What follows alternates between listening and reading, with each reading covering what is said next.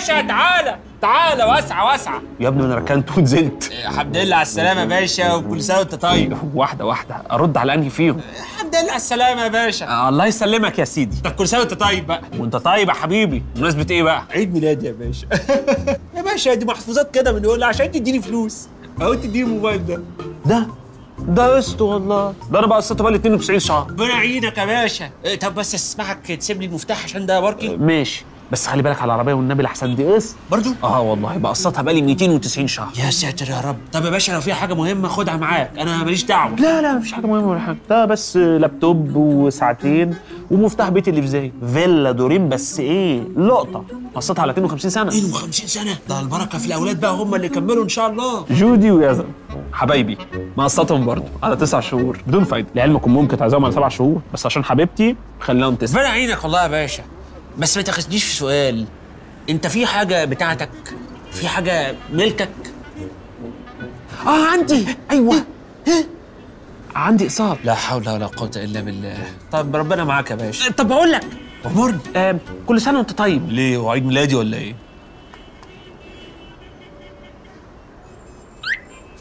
مستر سايس! مستر سايس! طالع يا باشا طب تعالى عليا تعالى عليا واسعه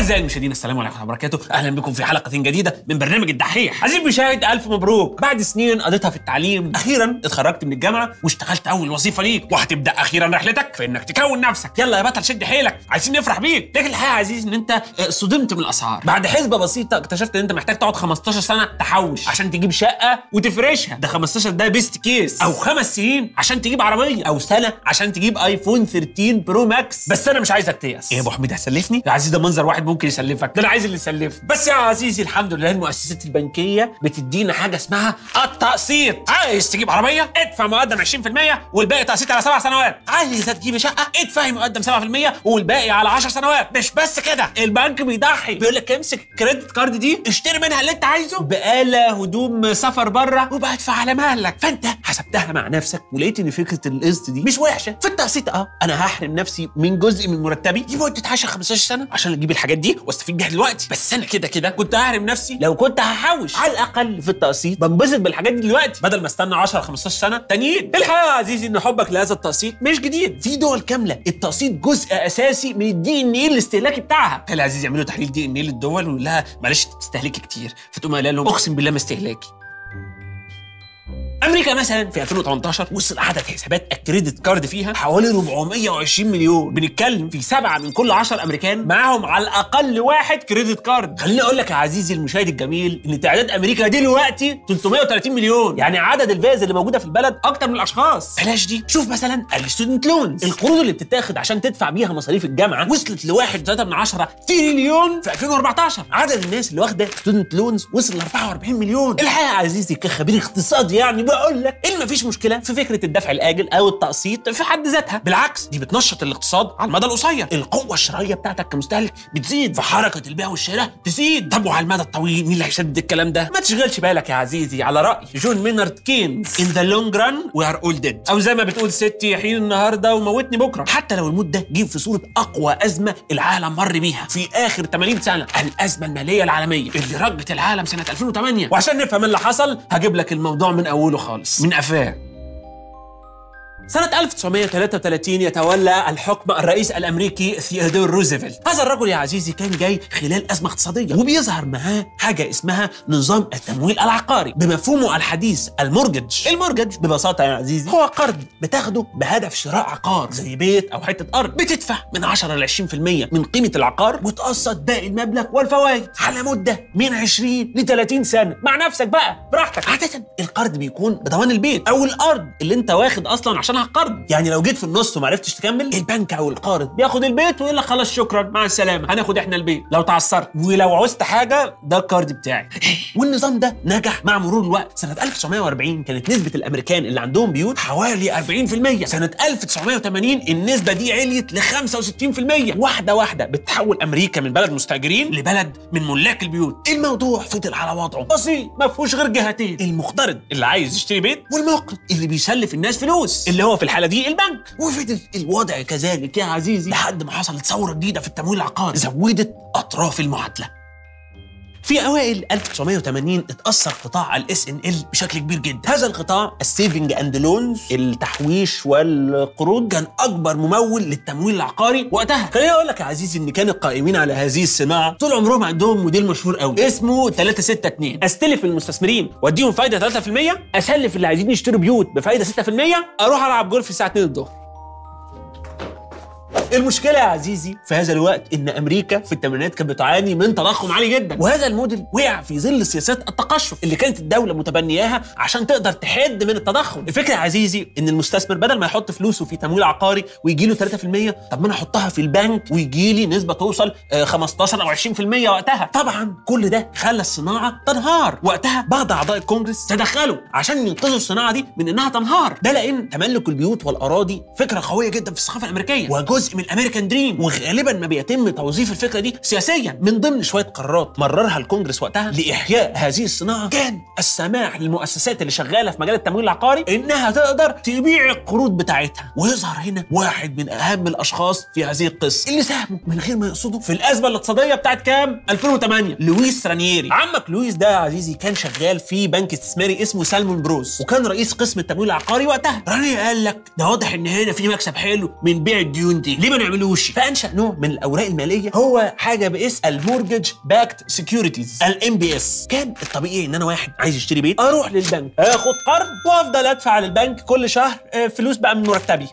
كل شهر. لحد ما اسدد القرض ده. بيجي البنك يقول لك إيه ده؟ طب ده أنا كده سلفت كل فلوسي. كده ما ينفعش. أنا محتاج يبقى معايا كاش أمشي بيه نفسي. لأن كل فلوسي في السوق مسلفها للناس. فالبنك بيعمل إيه؟ ياخد الورق اللي بيقول اللي الناس دي مديونالي ب 100 مليون دولار بفايدة معينة وأقوم بايع الورق ده لمستثمر. برقم طبعا أعلى شوية من 100 مليون عشان أكون كسبت. وهنا الطرف الثالث اللي اشترى من البنك له حق إن هو يلم فايدة 100 ألف دولار كل شهر. الطرف الثالث ده يا عزيزي غالبا ما بيكون بنك استثماري زي اللي كان رانييري شغال فيه البنك الاستثماري. بياخد الديون اللي هو اشتراها دي ويقوم بقى حاططها كلها في علبة كبيرة ويقسم العلبة دي زي الكيكة كده تشيك تشيك تشيك تشيك حتت متساوية. العلبة دي يا عزيزي بيجي لها كل شهر الاقساط بتاعه كل الديون. في المثل بتاعنا ده الشركة بيجي لها 100 ألف دولار في الشهر. لو قلنا العلبة متقسمة ل 100 حتة فكل حتة ليها 1000 دولار. البنك الاستثماري يعمل إيه بقى؟ يبيع الحتت الصغيرة اللي إحنا مقسمينها دي للمستثمرين. يا مستثمر. فأنا كمستثمر بشتري حتة من العلبة؟ هذه الحتة بتجيب لي مبلغ كل شهر. طبعا في ناس معاها أكتر عايز تشتري حتتين ثلاثة هنقول له لأ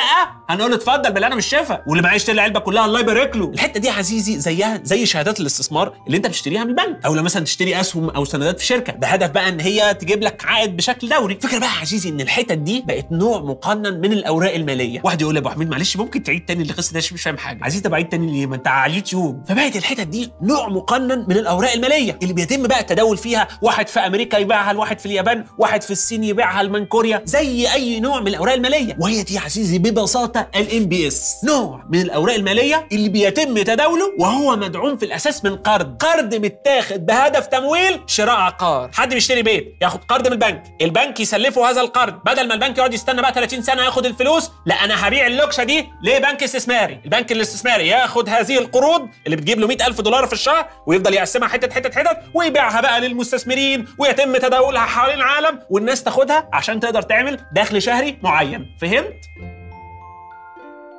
رغم إن موضوع ال MBS ده عزيزي كان ماشي كويس. استثمار آمن ما فيهوش خطورة. بس كان هناك مستثمرين شايفين المخاطرة بتاعت حاجة زي كده كبيره عليهم. ده عشان معلش يعني ممكن الناس اللي بتدفع اقساط بيوتها يتعثروا. معلش مش معايا الشهر ده والشهر اللي جاي. اتطرد من شغلته. مصطلح اسمه defaulted on loan وابقى أنا كده كمستثمر لبست في الحيطة. حتى لو خدت البيت. ما هو البيت مرهون بالقرض. فأنا لو ما سددتش القرض هاخد أنا البيت. فمش شرط أقدر أبيع البيت ده بالقيمة اللي البنك كان مسلفه عليها. فهنا بعض المستثمرين يقولوا لك قلل العائد شوية بس خليني في المضمون قوي. وعلى الناحية الثانية كان هناك مستثمرين شايفين إن ال mortgage-backed securities دول العائد قليل قوي بتاعها. إيه يا عم الملل ده؟ عايزين نزود ال risk شوية ونخلي العائد يعلى. وهنا يا عزيزي ظهر عشان تعرف بس إن عالم ال finance ده كله اختراعات في financial innovations طبعا أحيانا بتلبسنا في الحيط زي ما حصل في 2008 ولكن ما علينا. ومن هنا ظهر مشتق آخر من ال MBS وهو ما يسمى بال CDO collateralized debt obligation إيه يا أبو حميد ال CD-ROM ده. ال CDO يا عزيزي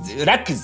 مش في ناس شايفة إن الموضوع ده فيه مخاطرة جامدة وناس شايفة إن الموضوع ده ممل قوي. طب حلو قوي. ادي كل واحد على قد دماغه. أنا يا عم كان عندي علبة حاطط فيها الديون كلها. هات يا عم العلبة دي افرزها لي. في ديون لناس كويسة. بتشتغل شغلات كويسة الناس بتسدد في مواعيدها كل حاجة ماشيين بالمسطرة. دي ديون ناس حلوة. مفيش واحد هي default غالبا يعني. حطها لي على جنب. والديون اللي فرص عدم سدادها أعلى حطها لي على جنب تاني. فهنا يا عزيزي أنت عملت منتجات تانية إيه لكل واحد بقى ودماغه والله أنا عايز حاجة فيها مخاطرة أعلى بس مكسب أعلى. فخد الناس اللي ممكن ما تدفعش عشان كده بنحط لهم فايدة أعلى عشان ممكن ما يدفعوش. طب أنا عايز حاجة آمنة وسهلة ومضمونة. إيه خد اللي هم الناس اللي منضبطة وبتدفع من ميعادها بس الفايدة طبعا عليهم قليلة لأن هم مضمونين. هديك من الفرز الأول كويس. وأحط لك يا عم عائد عليها 5% زي بعض. لكن أنت بقى روش وعايز حاجة خطر والفوائد فيها عالية اديك من الفرز الثالث وأحط لك عليها عائد 20% لو أنت راجل متوسط وهادي اديك حاجة من الفرز الثاني وأحط لك عليها فايده 10%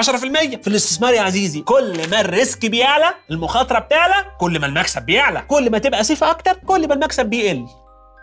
في الحقيقة. ال MBS يا عزيزي وخصوصا ال CDOs مش بس. خلقت فرص متنوعة للاستثمار. فبقت تخلي كل مستثمر يختار المخاطرة اللي تعجبه. لا دي كمان خلقت فرص تمويل عقاري جديدة. لناس. كان صعب عليها إن هي تقدر تاخد القرض ده من البنك. عشان مش بينطبق عليها كل الشروط. بس دلوقتي كله بقى بتمن. والجنيه غلب الكارنيه ظروفك مش ولا بد. هديك قرض يا عم تشتري البيت. بس هاخد منك فايدة 20% بدل الستة اللي كان بياخدهم البنك وروح يا عم انت اشتري البيت ولا يهمك. ونشتري أحسن منك في يالا ها؟ ما تشيلش هم الموافقة. خلاص بقى في مستثمرين يشيلوا عنك يا عم. دلوقتي يا عزيزي المستثمرين بقى اللي بيعملوا حاجات آمنة وبياخدوا نسبة قليلة كانت الحاجات اللي ممكن يستثمروا فيها محدودة. انت عارف يا عزيزي المستثمر دي بتاكله؟ يعني عايز أنواع و varieties و toppings و sauces. يحب المستثمر ما ياكلش من قدامه بس يحب يغرف في طبق سلطة إيه appetizer طب يا عم المستثمر انت اللي زانق نفسك في حتة الأمان. فك الكيس شوية عشان تاخد مخاطرة وتاخد فايدة حلوة. يا ريت والله كان ينفع عزيزي المشاهد يعمل كده. ساعات كتير المستثمرين كانوا بيبقوا متحجمين وده لأن بعض المستثمرين كانت الدولة بتفرض عليهم نوع الاستثمارات اللي ينفع يدخلوا فيها. يعني مثلا لما أنا بقول كلمة مستثمر المستثمر ده ممكن يبقى صندوق المعاشات اللي بيستثمر الناس فلوسها عشان يقدر يجيب لها فلوس لما تتقاعد. فده الدولة تقوم قايلة لك هي هي هي هي ما ينفعش تاخد مخاطرة لأن دي فلوس الناس كلها. كان واحد يبقى عنده 60 سنة ويكتشف إن الفلوس اللي محوشها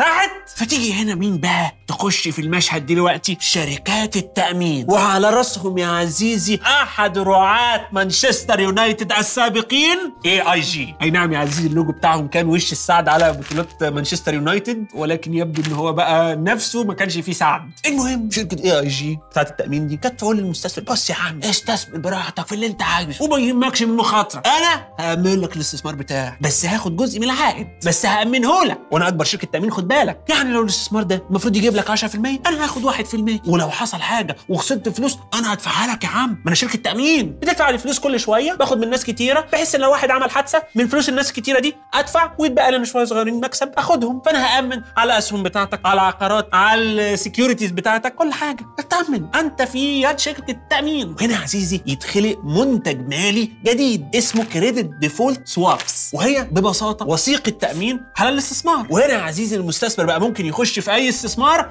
ايا كانت مخاطرته. يستفيد من العائد المادي الكبير وفي نفس الوقت يشتري CDS تضمن له الاستثمار بتاعه. كده يا عزيزي يبقى مسك العصاية من النص. فاهم طبعا الفكرة ها؟ واحد يقول لي يا أبو حميد طب أنا أعرف إزاي الاستثمار ده آه، فيه مخاطرة قد إيه وعاملة إزاي؟ أقول لك يا عزيزي إن زي درجاتك في المدرسة وفي الجامعة بيكون في درجات لكل استثمار. credit rating بيحدد نسبة المخاطرة اللي فيه. اللي كان بيحط هذا التقييم المصحح بتاع هذه الاستثمارات كان اسمه credit rating agencies أشهرهم كان Moody's Standard & Poor's Fitch. فمثلا التقييم بتاع AAA معناه إن الاستثمار ده فرز أول والمخاطرة فيه قليلة. مضمون. إن شاء الله برضو عزيزي عشان ما نلحقش. بينما مثلا تقييم CCC يعني أنت وحظك بقى. risk عالي. بس مكسب عالي برضو. أنت واختياراتك.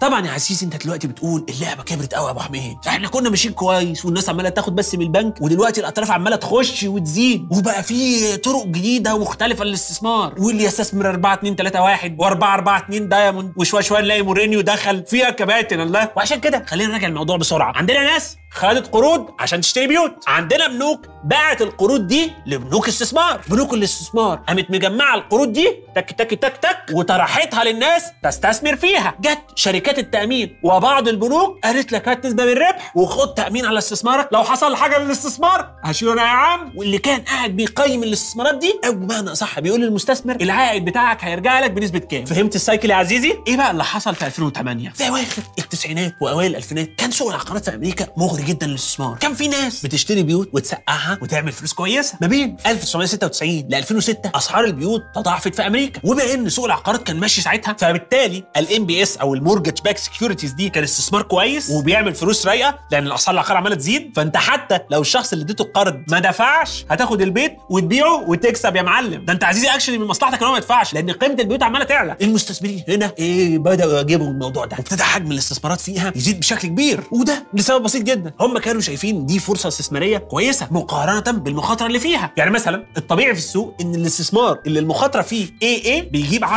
ده عزيزي بقى. كان AA وبيجيب 12 وكانت بالنسبة للمستثمر يوم يعني ما تطبل وتبوظ خالص واللي واخد القرض مش هيعرف يسدد ياخد هو البيت ويبيعه ويكسب فيه برنس. ما هي يا عم البيوت عمالة تغلى. الموضوع ابتدى يكبر والفلوس تكتر والمستثمرين بقوا عايزين يحطوا فلوس زيادة في ال MBS طب يا عم ال mortgage أصلا خلصت. نشوف تاني. زود. خليني أقول لك يا عزيزي الطبيعي لما البنك بيسلف حد عشان يشتري بيت كان بيبص على شوية حاجات كده. اهمهم زي credit score اللي هو تصنيفك الائتماني. ده حاجة البنك بيعرفها من خلال معاملاتك البنكية. تاريخك عامل إزاي فيها؟ بتسدد اللي عليك في ميعادك ولا لأ؟ بتاخد مرتب قد إيه؟ لما بتاخد قروض بتدفعها في وقت عامل إزاي؟ عشان يقدر يضمن إنك بدرجة ما هتسدد القرض اللي عليك على مدار 20 25 سنة. الحاجات دي يا عزيزي كانت مهمة جدا في حاجة زي التمويل العقاري. فاللي حصل؟ إن عشان بقى المستثمرين عايزين من ده أكتر وخلاص خلصنا الناس الكويسة والبنوك بقى عايزة تزود حجم التمويل العقاري عشان كده ابتدت تقلل شوية بشوية من المعايير اللي حطها عشان واحد ياخد قرض وتوسعت فيما يعرف بال subprime mortgage lending ودي يا عزيزي ببساطة شديدة. قروض بتديها البنوك لأفراد مش بينطبق عليهم الشروط الطبيعية قوي. في سبيل إنها تاخد فايدة أعلى. طب تعالى أنت كده. آه والله لا بشتغل شغلانة ولسه ما كونتش نفسي وما بدفعش الفلوس بشكل مظبوط ومش عارف إيه بس إن شاء الله هترزق يعني. طب تعالى هديك قرض بس هاخد منك فايدة أعلى عشان أنت مش مضمون. عشان لو خيشت هجيبك من ودان زي ما قلنا كده كله بتمن. وأنا كمان باخد risk وأسلفك. حق. أطلب عائد أكبر. كان في الوقت ده مع بداية 2003 أي حد كان ممكن ياخد قرض. وظهر يا عزيزي مصطلح ال NINJA loans. no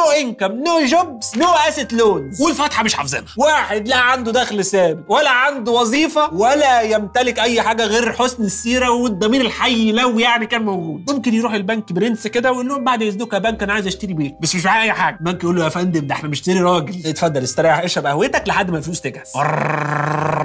اتفضل بس يا عزيزي لا يخفى عليك. البنوك مش بالطيبة دي اللي هو oh no شاب مسكين مش قادر يبدأ مستقبله. I'm-a support him بإن أنا اشتري له بيت وإن شاء الله ربنا يكرمه ويقدر يدفعه لي. حتى لو ما دفعش مش مشكلة يا شاب. خليني أقول لك يا عزيزي إن القروض دي كانت معمولة بطريقة يتم خداع الناس فيها. ونسبة الفايدة الحقيقية اللي الواحد بيدفعها كانت بتبقى أكتر بكتير من البنك قال عليها في الأول. حاجة بتسمى بال predatory lending practice والنتيجة إيه بقى؟ آلاف من الناس اللي كانت واخدة subprime loans ما قدرتش تكمل سداد القرض. defaulted بعد الشر عنك بال default. طبعا يا عزيزي الناس دي اللي ما قدرش تسدد قروضها. البنك قام واخد البيت اللي عليه الرهان. هات يا ابني البيت عشان انت ما دفعتش. طب إيه ده؟ أنا هعمل البيت ده إيه؟ هعرضه للبيع عشان اخد مكسبي والفلوس. حلو يا أبو حميد. ما نبيع البيت وناخد فلوسنا ونكسب بقى. نشغل الشغل كده. طيب وأهو يا عزيزي دي كانت bubble مع الزيادة الكبيرة في العرض اللي مش بيقابلها زيادة في الطلب. ما هو فكر فيها. انت اديت لناس كتير ما عندهاش القدرة انها تدفع. ما دفعتش. فانت خدت البيوت. البنك مش هيحتفظ بالبيت. مش هيبقى انتيكه عنده لازم يبيعه عشان ياخد فلوس معاه كاش ويستثمر في حاجات تانية. فبالتالي بنوك كتير بقى عندها بيوت كتير بتحاول تبيعها. لما ده يحصل يبقى عندك supply أكبر بكتير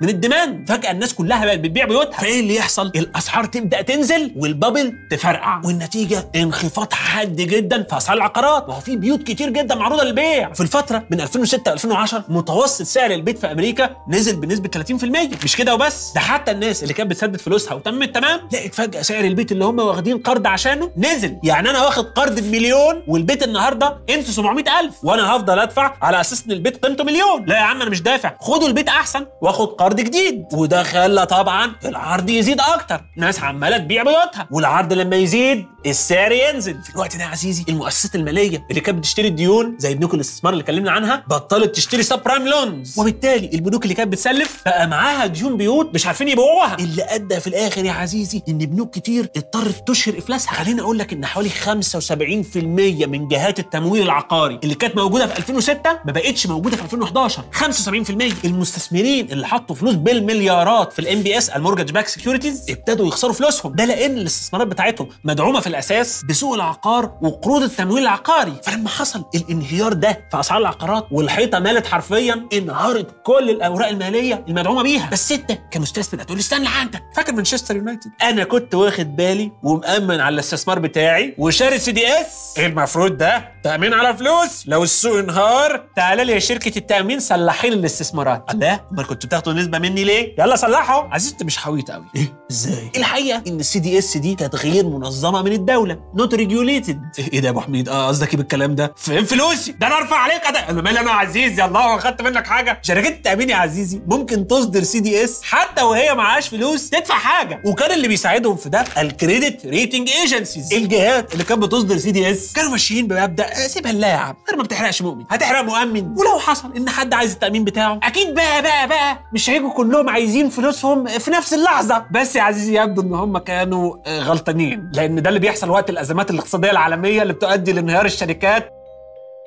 في مارس 2008 بنك بير ستيرنز أعلن افلاسه وبيجي بنك استثماري تاني اسمه جي بي مورجان يوافق يشتريه بسعر 2 دولار للسهم وضمان من الحكومة ب 30 مليار دولار. وفي سبتمبر 2008 بيعلن بنك ليمان براذرز أكبر افلاس في التاريخ. البنك ده يا عزيزي كان أحد أكبر البنوك الاستثمارية في العالم. بعدها يا عزيزي تبدأ شركة AIG تنهار. دي الشركة اللي كانت المفروض تأمن على الاستثمارات ما عرفتش تأمن نفسها. وتبدأ من هنا أزمة عالمية هي الأعنف. من بعد كساد 1930 ما بين 2008 ل 2010 أمريكا بتخسر 8.8 من عشرة مليون وظيفة بمعدل 712 ألف وظيفة في الشهر الواحد. كل ده بين أكتوبر 2008 لمارس 2009 الخسارة اللي تعرضت ليها الأسر الأمريكية بسبب نزول سعر العقارات والأسهم وضياع المدخرات ده غير المعاشات وفقدان الوظائف. في الأربع سنين من 2006 ل 2010 10 مليون أسرة يا عزيزي اتسحب منهم بيوتهم. 10 مليون. كل ده طبعا عشان ما قدروش يكملوا دفع الاقساط. foreclosures في 2008 بس حصل 3 واحد من 10 مليون. حالة سحب. واحد من كل 54 بيت كان بيجي له إنذار. حوالي 9 مليون أمريكي فقدوا التأمين الصحي بتاعهم. في 2008 بتقدر خسائر المعاشات الأمريكية ب 2.4 من 10 تريليون دولار. أكتر من 80 ضعف إجمالي مبيعات شركة كوكاكولا. سنة 2018 وما بين 2007 ل 2009 سوق الأسهم في أمريكا بيحقق خسائر. خسائر تقدر بحوالي 8 تريليون دولار. New York Stock Exchange بيقدر النهارده إن في 17 مليار دولار خسائر. نص بورصة نيويورك راحت تقريبا اللي كانت بتقدر يا عزيزي ب 17 تريليون.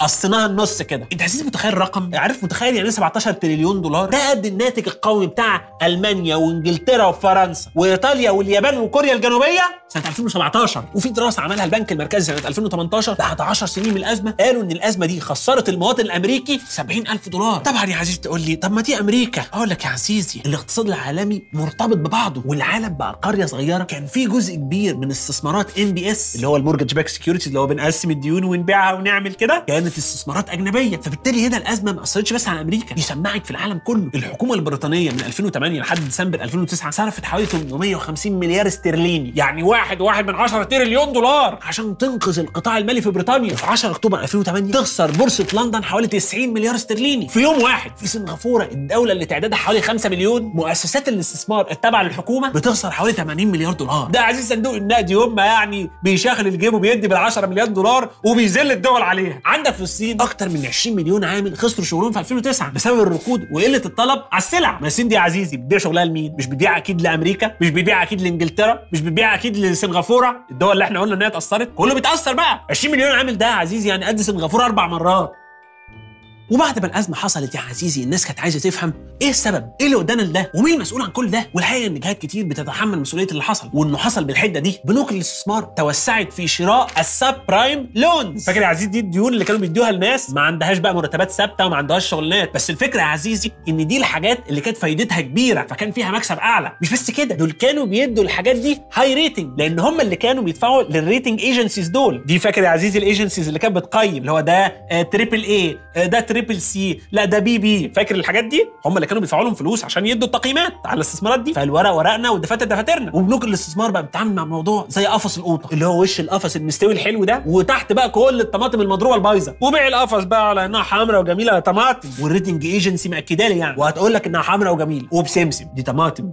سمسم. بس الحقيقة يا عزيزي إن بنوك الاستثمار عملت حاجة أصيع من كده كمان. هي مش بس باعت لك استثمارات خسرانة على إنها حلوة. دي كمان وشوف دي بقى رهنت على إن الاستثمار بتاعك هيخسر. حاجة اسمها short selling وكسبت فلوس فعلا لما استثمارك خسر. يعني أنا كده يا عزيزي كبنك استثماري اديتك على قفاك مرتين. تخيل بعت لك جزمة فيها عيوب على أساس إنها جزمة شغالة زي الفل. وقلت لك روح اجري بيها يا عم. وبعد كده قمت مميل على واحد جنبي. وقلت له تراهن إن الواد اللي بيجري بجزمة حلوة ده هيقع على كام؟ على كذا. طب ماشي وقع. هات الفلوس يا اسطى. فانا كده كسبت فلوس لما بعت الجزمة للراجل وكسبت فلوس لما راهنت على إن الراجل ده هيقع بيها لأنها جزمة مش كويسة وأنا عارف. طبعا يا عزيزي الموضوع لم يكن بالجزم الموضوع كان بالمليارات. ما كانش بالهيافة اللي أنا بقولها دي. المراهنه دي يا عزيزي كمان كانت بتتم من خلال CDS اللي هي فاكر قلنا إنها إيه؟ وثيقة تأمين على الاستثمار. بس الحقيقة إن كان في حاجة في ال CDS مختلفة شوية عن التأمين العادي. يعني أنا مثلا لو رحت اشتريت عربية فطبيعي إن أنا بس كصاحب عربية اللي ينفع امن عليها. بالتالي لو عربيتي دي اتسرقت ولا عملت حادثة شركة تأمين تدفع لي ثمن العربيه بس مش طبيعي إن واحد تاني غيري يأمن العربية بتاعتي. ولو أنا عربيتي اتسرقت شركة تأمين تعوضه هو. لو ربنا يعوض عليك ربنا يعوض عليك. طب وأنا؟ ده بالظبط اللي كان بيحصل في ال CDS. أي حد ممكن يأمن على أي استثمار. فبالتالي لو العربية مش عربيتي بس أنا مأمن عليها هبقى عايزها تتسرق عشان آخد قيمة التأمين. يا ولاد اللذينة ده إيه ده؟ ده إيه اللي بتعملوه ده؟ مش ممكن. دي اختراعات مالية يا عزيزي. هناك financial engineering كان يا عزيزي كمان بيتم تداول ال CDS دول في أسواق المال زيها زي أسهم الشركات. فأنا لو متوقع إن الاستثمار ده مثلا هيخسر أروح شاري ال CDS يأمني ضده ولما يخسر آخد فلوس التأمين. وبنوك الاستثمار عملت كده. باعت للناس subprime loans وكسبت النسبة بتاعتها العادية. وقامت رايحة شارية CDS بتراهن بيها ضد الاستثمارات دي. وكانت مورجان ستانلي بتراهن ضدها في نفس الوقت. صحفي اسمه جريج جوردن نشر مقالة في 2009 كشفت إزاي جولدمان ساكس كانوا بيبيعوا استثمارات متصممه إن كل ما العملاء بتوعهم يخسروا أكتر كل ما جولدمان تعمل فلوس أكتر. المراهنة ضد الاستثمارات في وقت ما كانت بتكسب أكتر من بيع الاستثمارات نفسها لدرجة إن هم ابتدوا يخلقوا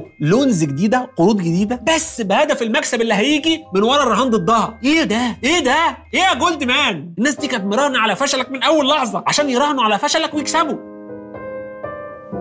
تسالني وتقول لي يا أبو حميد الناس دي بقى بعد الجشع واللي عملوه ده كله اتحاسبوا إزاي؟ الحقيقة يا عزيزي إن الحكومة الأمريكية عشان ما تفشلش والدولة كلها بقى تفلس والناس كلها تبقى عاطلة كانت لازم تنقذ الناس دي. المؤسسات دي يا عزيزي اللي كانت بتاخد بقى قروض وتشتريها وتبيعها وتجزئها وتراهن على فشلها كانت too big to fail حجمها كبير قوي لدرجة إن هي لو فشلت هنفشل كلنا معاها. ما ينفعش تفشل. فكان لازم الكونجرس الأمريكي يديلها فلوس عشان تقدر تكمل والاقتصاد كله ما ينهارش.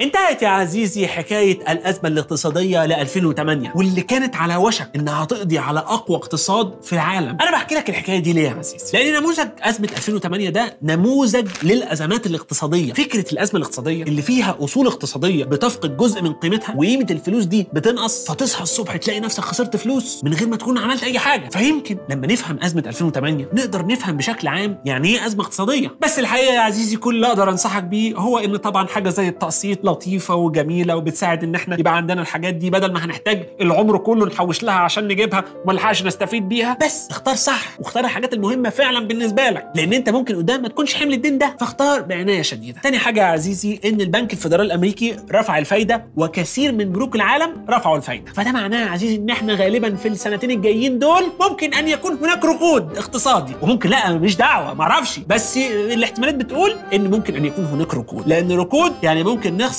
شغلنا. شركات تسرح عماله عشان مش قادرة تعمل مش عارف إيه. فربنا يستر يا عزيزي علينا. أرجوك خد بالك من التقسيط. أخيرا وليس أخيرا تنساش تشوف الحلقات اللي فاتت شوف الحلقات اللي جاية. تبص على المصادر وإحنا على اليوتيوب نشترك القناة.